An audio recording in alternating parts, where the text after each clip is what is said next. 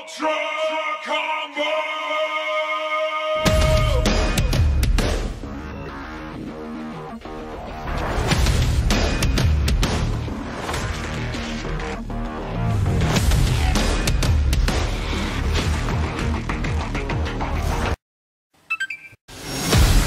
Fala, mitológicos, belezinha? Joe na área com mais um vídeo do Sou Mais Xbox, o seu canal de notícias do Xbox One. Se você está chegando agora, seja muito bem-vindo. E se você já é inscrito no canal, meu, muito obrigado. E aliás, hoje, ó, tá recheado de novidade boa para você. Hoje tem presentitos para os assinantes do Game Pass. Foram acrescentados mais dois presentes. Tem também o beta de um jogo aí que sofreu atualizações para você conferir e jogar no seu Xbox One. E tem também uma bomba da Rare. É isso mesmo, uma baita de uma bomba que a Rare foi lá e deixou no Twitter, respondeu um comentário ali e a sua cabeça vai explodir porque tem jogão que pode voltar, inclusive ele pode ser um dos anunciados no dia 13 pela IGN. É isso aí mesmo, é tanta informação que tá rolando referente ao dia 13, né? Segundona, que pode rolar esses trailers lá na IGN, que a minha cabeça tá explodindo. A gente começa a ficar ansioso, a gente começa a ver muita informação, muita informação de exclusivo. Meu Deus do céu, Dinho, se contenha, Dinho, se contenha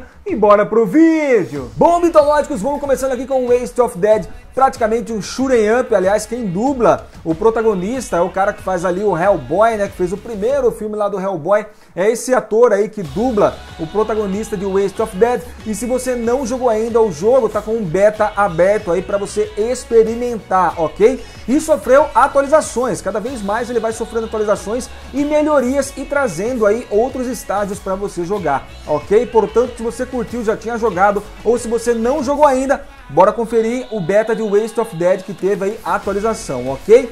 Tem também o que? Presentitos no seu Game Pass, inclusive aí para os jogadores de Warframe e também para os jogadores de Phantasy Star Online 2. Lembrando que para você baixar aí os perks, né, o presente de Phantasy Star Online 2, você tem que trocar sua região para Estados Unidos, baixa e depois você volta para a região brasileira. Inclusive você pode voltar para a região brasileira que você consegue jogar Phantasy Star Online 2. Beleza? E vamos falar agora de Hera. A Hera foi lá e postou uma resposta no seu Twitter.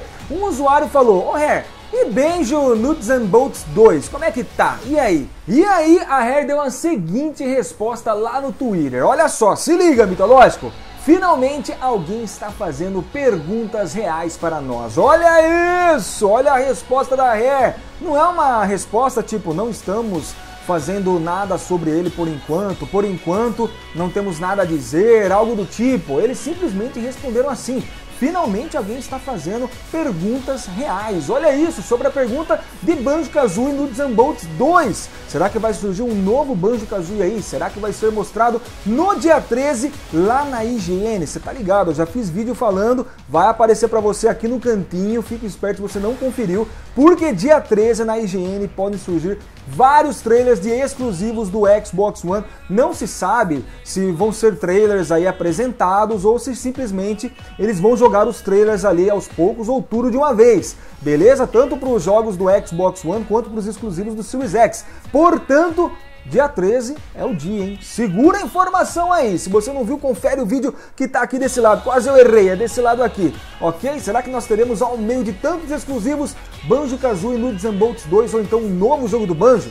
Comenta aqui embaixo se você vai conferir o beta grátis de Waste of Dead, se você está resgatando os presentitos do Game Pass, aliás, para você que não sabe, fica na janelinha inicial do seu Xbox One, e se você aí está ansioso para o dia 13 na IGN para saber quais serão os exclusivos que serão revelados. Aliás, será que vai rolar? Será que vai rolar esses trailers aí de exclusivos lá na IGN? IGN gringa, beleza, mitológicos? Eu vou ficando por aqui. Fique em paz, felicidade sempre. Falou!